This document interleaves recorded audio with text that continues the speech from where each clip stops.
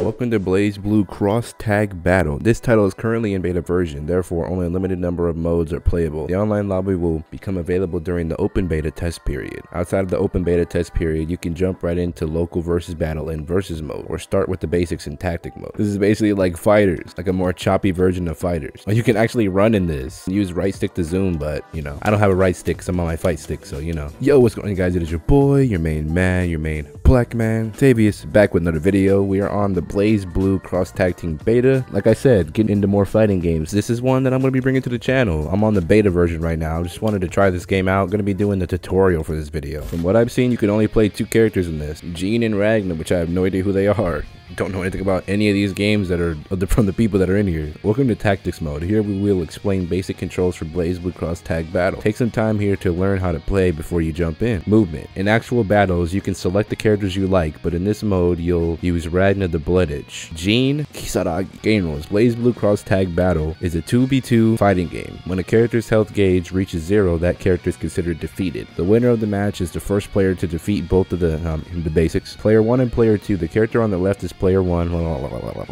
This is all basic stuff. You can stock up to five points in the skill gauge, and the gauge is consumed when using fancy actions like extra skills and distorted skills. However, the skill gauge is shared between tag partners. If one character uses too much, the other character will be left unable to use it. Plan accordingly. Cross gauge. The oblong gauge near the skill gauge is the cross gauge. This is consumed when using cooperative actions with your partner, such as active partner skills and cross combos. The cross gauge recovers over time, so you should be proactive in cooperating with your partner.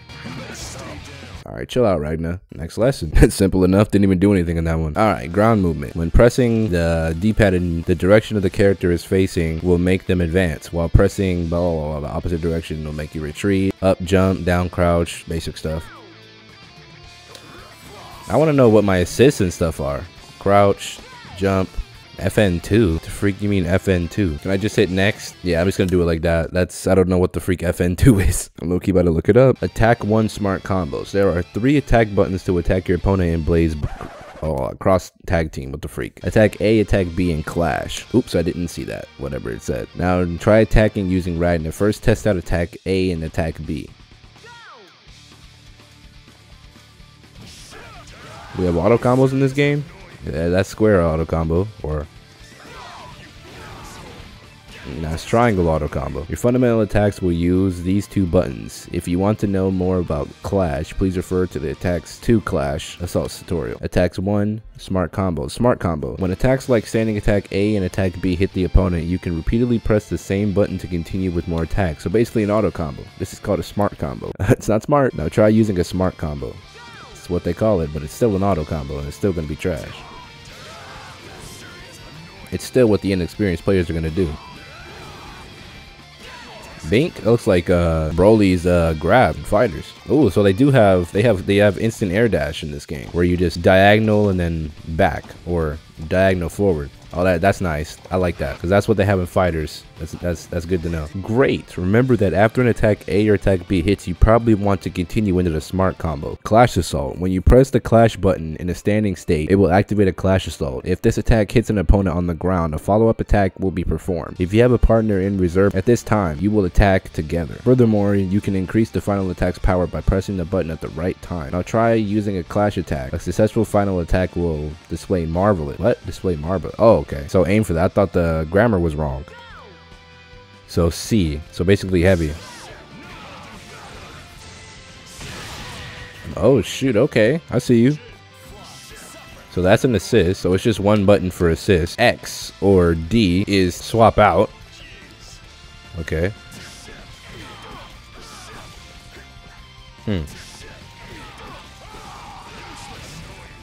So comboing is definitely not going to be the same in this game as it is in Fighters, even though they're the same uh, people who made the game, but you can double jump in the air, so that's something, but let's move on. Nice. If a Clash Assault hits an opponent in the air, it will not activate the additional attack. Try to use it when the opponent is on the ground. Basically, uh, in a hard knockdown. Leg sweep and jump Clash attack. If you press the Clash button while in a crouching state, you'll perform a leg sweep. If the leg sweep hits, it can knock the opponent down. Also, if you press the Clash button while in the air, you will perform a jump Clash attack. In Ragnar's case, unlike attack A or attack B, this will change his jump trajectory and he will rapidly drop to the ground and perform an attack. Now try using leg sweep and jump clash attack. Can we reset position? Nice. Okay. So down C. I see you. Okay, I see you. Okay, so there's only two ways you can instant air dash in this game. You can do diagonal back, two motions, or jump, double back, or jump, double forward.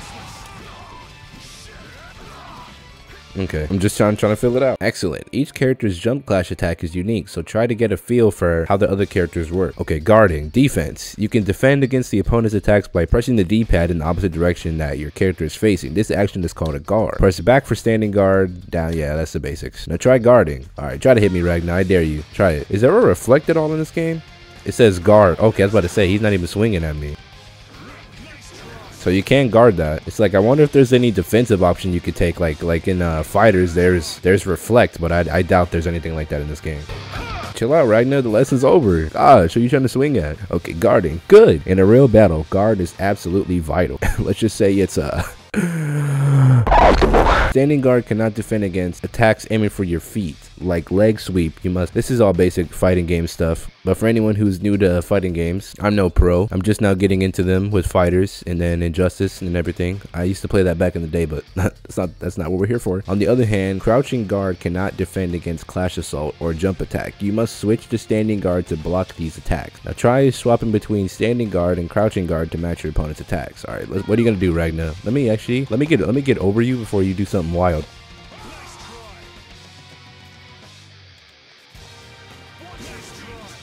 Hello. I don't think so.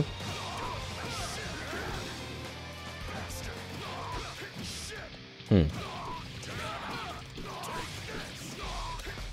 I don't know how you continue combos like that. Weird. I'm trying to play this as if it's fighters. Guarding. Impressive. Your legs are often targeted while fighting on the ground. So remember to use crouching guard if the opponent is on the ground. Switch to standing guard if they're in the air. Nine times out of ten, you want to crouch block unless you see them going for an air attack. People tend to go for legs a lot in fighting games. Ukemi. If the character you're playing is launched into the air, you can hold either attack B or attack A, attack B, or clash button to perform an aerial Ukemi to recover in the air. You can combine an aerial Ukemi with the D-pad to choose your direction that you return in. Now try using an aerial ukemi after your opponent's attack.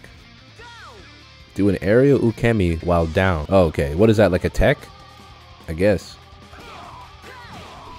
Okay, so it's basically a tech. Let me see what the what B is. Alright, now let me try the Clash version.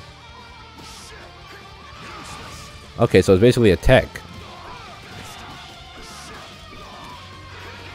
Hmm, okay. It's, bas it's basically a tech. It's basically how you tech out, like in fighters.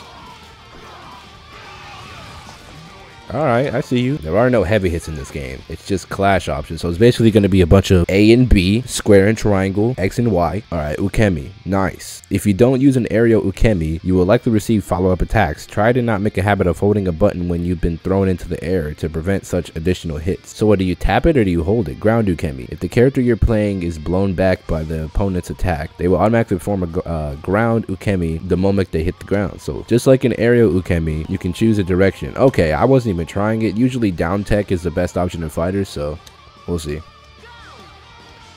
Alright, Ragnar, hit me in my legs, buddy. Okay, that's a back Ukemi. So used to the word the term tech. Oh, you can cross them up like that. Oh shoot, that's gonna be nasty. Oh yeah, that's definitely gonna be nasty. Can you tech up? That's the question. Eh, it's not really not really much. So you didn't even need to press a direction, to be honest. Okay, chill out.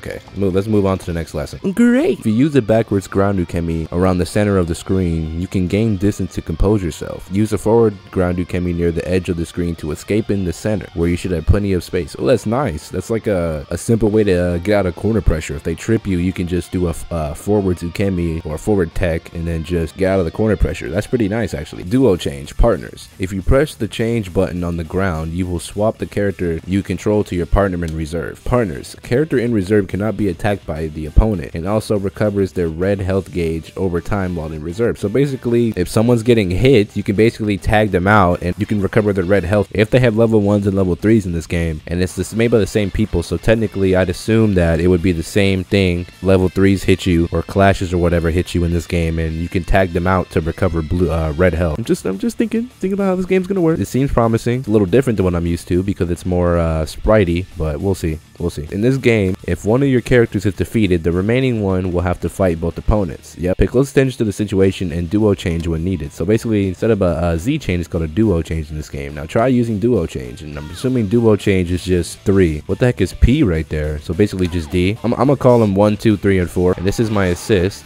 I could keep this the same. Do these buttons do anything over here?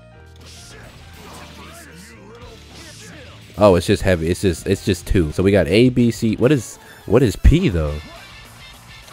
Oh, that's a grab. That's a command grab. Good. The character that used duo change will instantly swap out, but there is a slight delay in vulnerability for the character who appears. I'm assuming it's not safe on block, or it's not safe to just randomly tag out if uh if you're getting if your opponent's applying pressure to you. I'd imagine there's like a little window in between where you have to actually let your cut your uh, character that you're duo changing that you're tagging in to recover before you can actually block. So that's that's going to be interesting how people are going to integrate that, and people who don't know how to play this game, including me, Never really played a BlazBlue game in my life. Can't be tagging out just randomly. You got to try to strategize your tag outs or else you're to get punished for it. But be careful when there's a high chance of receiving an attack from the opponent. Partner skill. If you press the partner skill button, you will call out your character to perform a partner skill attack. Gosh, I suck at reading. Partner skill can be combined with the D-pad to change the uh, action. Now try using partner skill. I'm assuming that's assist in this game. So P. Yep. And that's just a regular tag just a regular assist and a forward a forward partner skill. He does something completely different. And what is back? Let's see the damage difference. We got regular tag or regular assist. Does about to his G, to Ragnar's G. Then we got forward assist. About the same amount of damage. And then back does way less damage, at least with uh, with Gene. That's just one one hit for him. Yeah, it looks like it's about the same. Doesn't seem like it's uh, anything crazy. It's just different variations of tagging or uh, assisting. It's gonna be wild what people are gonna do with that because you have three different three different options for freaking tagging or uh, assisting. It's freaking crazy. Nice. Neutral plus partner skill is usually an advancing attack, making it easy to use. You can use this to create an opening to go on the offense. Down entrance. If your main character is defeated, your partner in reserve will automatically swap in. When this happens, your partner will enter while attacked. Don't let down your guard when you defeated one opponent early or either. Basically, it's not like fighters where you have time in between. you got something to do in between uh, KOs, nothing you can do about it. All right, reversal action. Oh, that's nice. We got. Is, are these going to be our uh, versions of uh, uh, reflect or our defensive options to get out of uh, corner pressure. Okay, it says reversal action. Reversal action is an attack performed by pressing attack A and change at the same time. So basically, uh, light or one. When activated, your character will enter an invulnerable state, overcoming an opponent in the middle of an of attacking you. Now try using a reversal action to break your opponent's combo. There's breakers in this game. Oh, I love I, I love games with breakers. Makes it so much easier. So you don't just have to freaking take everything. Hit me, Ragnar or is it or is it just me? Also, basically, what is that? Um, so uh, uh, my question is, does it have invincibility frames on startup? Because it seems like if you're getting pressured, I'm assuming that's your one way to break, but does it take anything? That's the question. So it looks like it doesn't take up any meter. It, it builds meter more or less, and that's one and three or A and D, whichever one. A is going to be is one for people who aren't familiar with games. B is two. D is three. Four is C. And then the, this button is something completely different. But anyways, let's move on. It doesn't look like it takes any meter to do that, so that could be interesting. People are probably just going to spam that. I hope that it's like not going to be something that you can do while someone's comboing you, because then people are just going to spam it and you're never going to get any combos off. I'm hoping you have to have a gap in between corner, uh, you know, like a uh, block string, you know, type of pressure, stuff like that. But anyway, reversal action. Impressive. This skill is extremely useful for starting a counter attack, but the opening after the skill is very long. Be mindful that if it's guarded, you can easily receive a painful counterattack yourself. Okay, so basically that yeah, that's good. That's good. So it's it's it sounds like if you do use this uh, you know, reversal to try to get out of a combo, there's going to be a, a massive amount of negative frames in between and I'm assuming it's not going to be safe on block if someone manages to block it. So you're probably going to get punished if you just throw this out randomly. That's good. I'm a lot more into this than I thought. I'm really I'm really getting into these fighting games. This stuff is fun as heck. Skills and extra skills. Concerning skills. Skills are powerful attacks that can be used by combining specific D-pad and uh, buttons presses. Such inputs are called commands. Ragna's skill, Dead Spike, can be activated by inputting basically quarter forward command, then pressing 1 or 2. Now try using Dead Spike. The trick is the Dead Spike command in tracing from down to right. Know, I know how to do quarters. I, I do know how to, I know how to do quarter, uh, quarter circles. I play fighters. What's the damage on that? Not bad. Can you combo out of that though? Hold on. Okay, hold on. So you have to press yeah, you have to press four in the air, else you're not gonna get that combo. Can you? The my question is, can you do? Can you combo off of this? It's not looking like it. Hold on. Yeah, you can't do anything after that. So I'm assuming. Hmm.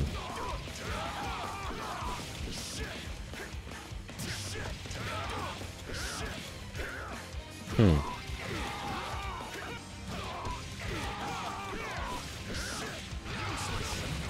Looks like you can only combo a certain way in the air, which is weird. Great. Some skills also have additional attacks. In Ragnar's case, this would include Hell's Fang. Hell's Fang is activated by first inputting quarterback, then pressing 1 or light, whichever. I don't freaking know. I'm gonna call it freaking 1 to make it easier. A. I don't want to think of too many terms. If Hell's Fang hits, you can press 1 or 2 or 3 to blow the opponent away in an uh, additional attack, or A, B, or freaking C. Now try connecting the Hell's Fang to its additional attack.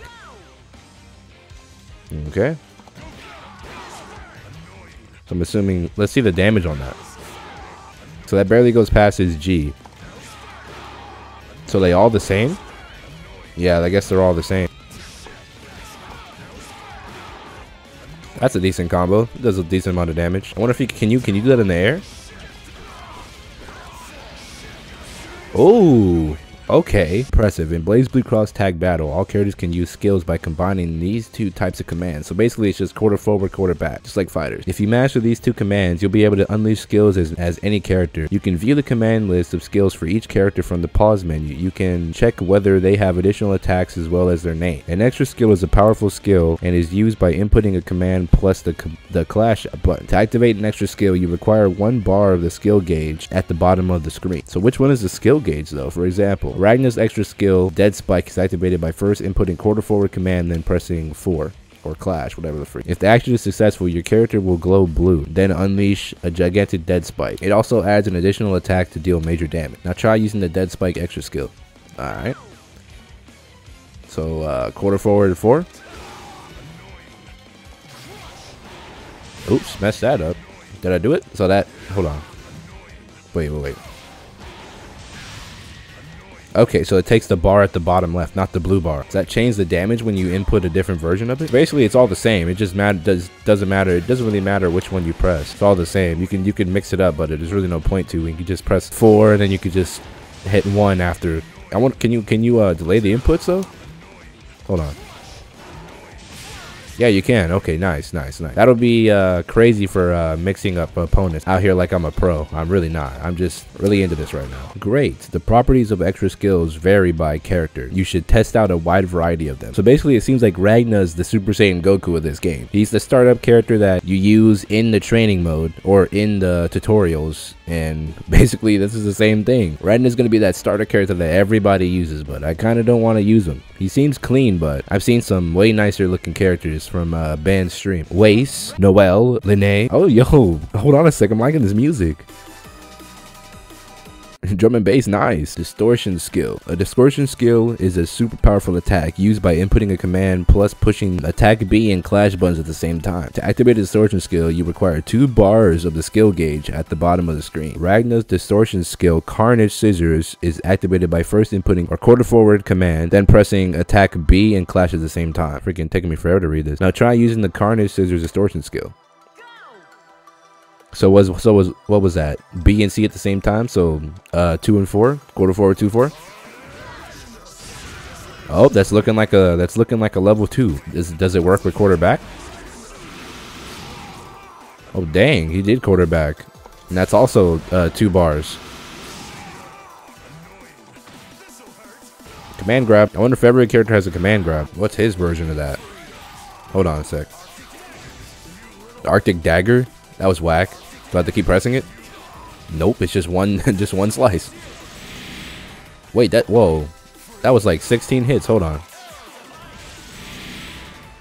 Yeah, these buttons are kind of weird. A lot of cross-ups. Yeah, that's weird. All right, I think that's the last lesson. Let's see. Good. Not only do distortion skills deal great damage, but they also start with invulnerability and other high specs. Proactively use your distortion skill when the skill gauge is available. So basically, this is like a level 3 in terms of invincibility frames nope. whenever you start it up, or just in general, or when you start it up. Distortion skill duo is a super powerful coordinated attack where both the main and partner characters use a distortion skill. DSD is used by pressing the partner skill button during a distortion skill. During a DS. However, activating the DSD requires another two bars of the skill gauge at the bottom of the screen. Now try using Ragna and Jin's distortion DSD freak. Gotta get used to saying that. Now how do I do that? Hit with DSD after Ragna's distortion skill. What was his distortion skill? This? There we go, I got it. So it's basically uh, a Z. Yep, it's basically uh, an ultimate Z. What the freak do they call him in fighters? I forget. Whatever the freak. It's a Z change whenever you swap out after a super. Let's see his. Okay, not bad, not bad. Interesting how the buttons work in this. Some distortion skills cannot activate DSD or can only activate it during the latter part of the action. In Ragna's case, DSD can only be activated during Devoured by Darkness after he blows away the opponent he grabbed. Pause. you should check specific timings beforehand. And it looks like that's it. It looks looking like it's it. Why do I have stars on everything except for this one? Oh shoot, there's way more stuff. I've already been recording for like 45 minutes. Way longer than I expected. But anyways, that's pretty much it. Hope you guys enjoyed the video. I'm gonna jump into uh into the movement guide really quick. I wanna try some stuff.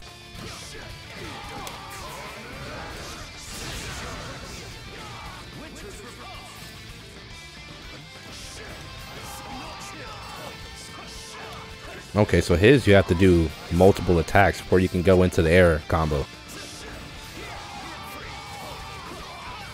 Okay, that makes sense. Okay, but anyways, hope you guys enjoyed the video. Let me know. This is just a little, uh, little tiny video. Well, it's probably going to be really long, longer than probably like 20 minutes or so. Just going through and trying out this little beta, seeing what, you know, what you can do. I just wanted to do this because it seemed like it'd be interesting. You know, the game's beta version, the game hasn't came out yet. So basically, I was just, you know, coming in here, trying the tutorials out just to see how the game plays, how it feels. I probably cop the full game when it comes out, depending. I'll uh, do some more playing about the game and then see how I feel. Usually usually. I probably end up getting it anyways. It's another fighting game. If you guys want to see more uh, videos on this, let me know down in the comments. Comments are always appreciated. Let's try to get 10 likes on the video. And also check out my last video, Shadow of the Beast, episode 2. Pretty fire game so far. Very underrated. Pretty good, uh, pretty well made game. More videos will come on this beta before it's over. It ends on the 14th. It's currently the 12th right now. 2.30 in the morning. We can do some more practicing and uh, that's pretty much it. It's been Tavius. Remember to always have a great day. Love you guys and uh, you guys. Peace pretty interesting game. We'll see how it goes. A lot of adjusting to do.